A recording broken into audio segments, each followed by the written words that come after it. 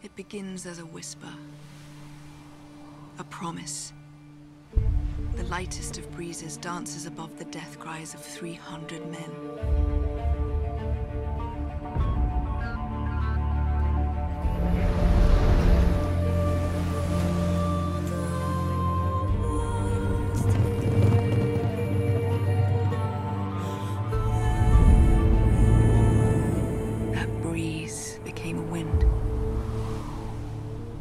Wind, my brothers, of sacrifice. A wind of freedom. A wind of justice.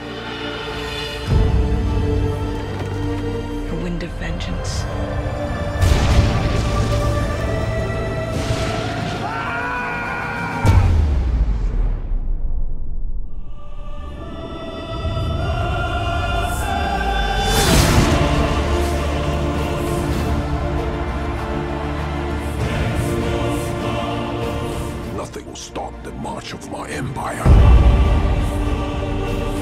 I will attack the Greeks with my entire navy.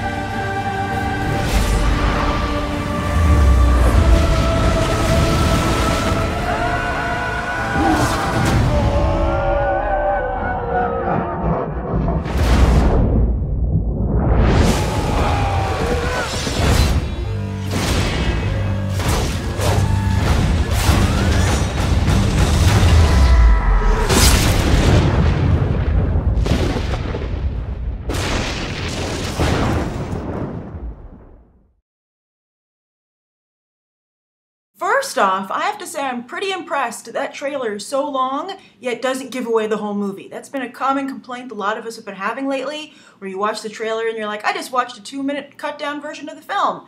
But I think that this trailer was really successful in that it gave you a lot and showed you the different tones of the film uh, while not giving away the whole movie.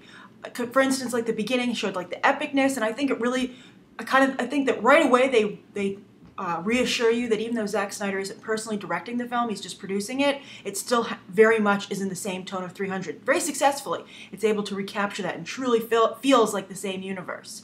Uh, and then I think they slowly introduce their characters. I will be seeing this just for Eva Green alone. I'm a big Eva Green fan. I want to see her succeed. Uh, I like Lena Headey too.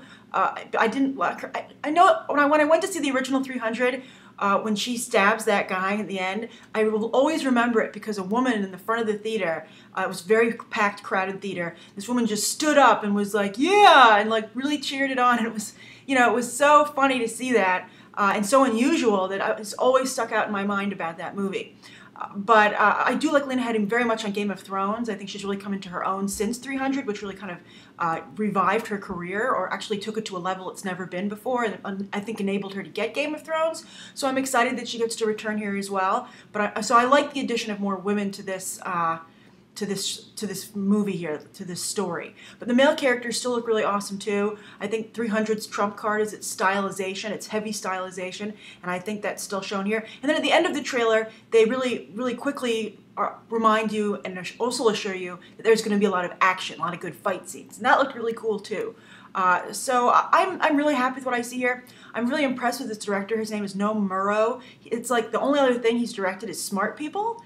Uh, you know, he had very little information about him available online. I'm gonna have to dig a little deeper because I know that he was up for Die Hard, uh, Good Day to Die Hard, but he turned it down so he could do 300 Rise of an Empire. And I don't know anybody would be. I don't know why a studio would be fighting over the guy who directed Smart People, this little small indie film that has no special effects. But uh, whoever picked him knew what they were doing because I'm really impressed. And I will say, I saw some people talking about, oh, more green screen. But you know, that's kind of what 300 is. It's it's heavily green screened, and you have to green screen it to get the kind of stylized environment I'm talking about here. And also, I will say, I think some of the wire work was a little obvious. And that cool shot when that guy uh, jumps off the cliff, the edge of the cliff with his sword down below.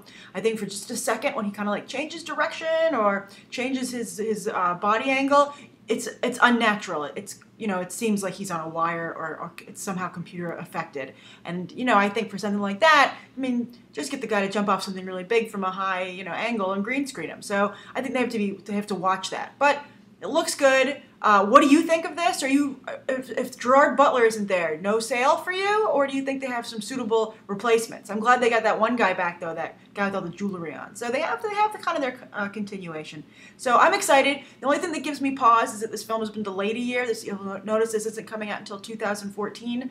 Uh, that's always kind of scary, but as has been mentioned recently, you know that that delay did not hurt. Um, uh, Shutter Island, and it didn't hurt G.I. Joe Retaliation because they just re signed Jon Chu to direct the third film. So sometimes when they wait, it's embarrassing, but it ends up being worth it in the end. So we'll see. So write your thoughts down below, and thank you for coming to Beyond The Trailer, not just for the latest trailers, but these quick snapshot reviews. Thanks for watching. Bye.